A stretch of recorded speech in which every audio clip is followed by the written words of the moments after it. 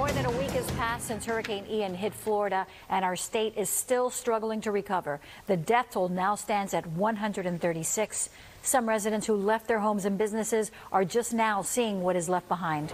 Hello, everyone. Thanks for joining us. I'm Jackie Nespral. And I'm Jawan Strader. Good evening. We begin tonight with NBC6 reporter Jamie Guirola. He's live from Bonita Springs, where a mobile home park was completely destroyed. Jamie, so many people left without a place to call home.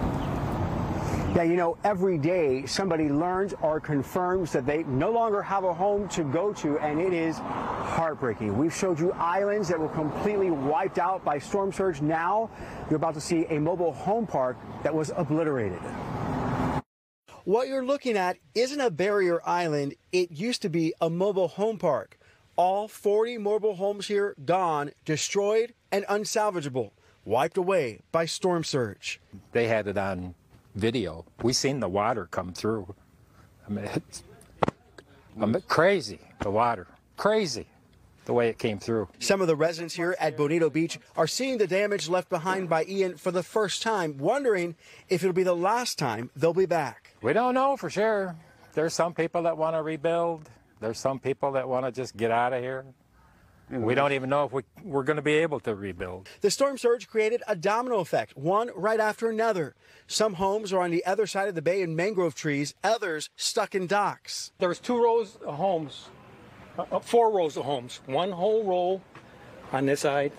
Then there was two rows of homes back to back, down one row this way and one row in the middle. Paul Wasilski tries to describe what his community used to look like. Then he spots what used to be his home. It is, see that blue boat there sitting, laying next to the palm tree? It's right next to the blue boat. It's a, a white pile of.